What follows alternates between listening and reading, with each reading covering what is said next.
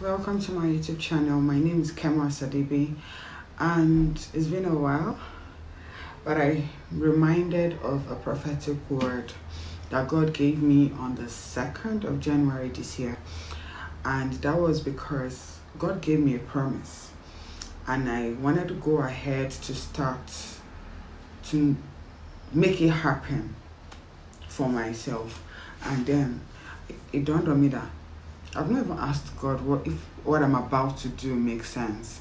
And when I went to God and I said, Lord, I want to do this since you say you're going to do this, this, this year. And I heard a stern voice, don't help me. So this prophetic word is don't help me. The Lord reminded me and he's saying that I should tell his people nobody should help him. Psalms 127 says, Unless the Lord builds the house, the builders labors in vain.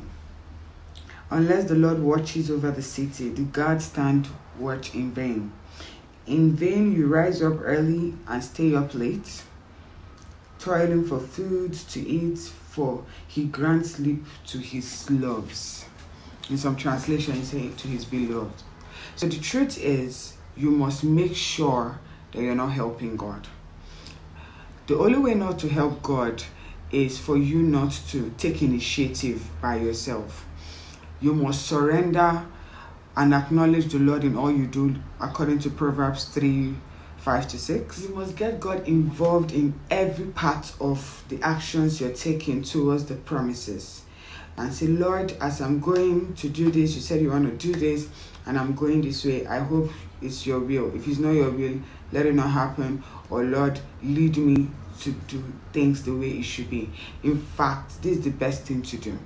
Every day you wake up, you tell God. So when God gives you a promise, I want you to see it like a a vision in a vision board. Uh-huh. And then you're now saying, Okay, Lord, what's the goal for this week? and then the Lord will give you the goal. Then the next thing you say to God is every day you wake up, you tell God, uh, what's the to-do list for today? And he will tell you, do this, this. Lord, what do I do so that we'll arrive at this promised land today? And he will tell you, in that way, you won't be helping God, you'll be doing things according and when you do things according to his will, he's going to perfect it, he's going to shine his light on it, and you will see the power of God, you will see the move of God, you will see all the resources. You know that popular saying, His will, His bill. You're going to see Him, He's going to be smeared all over the process, the whole journey to arriving at that promised land. So please, don't help God. Don't help God. Just allow Him help you. Just go to Him, ask Him for help and whatever instructions he gives you, follow it. Thank you so much. God bless you. I hope this word blesses your life and redirects your path. Thank you so much. Bye bye.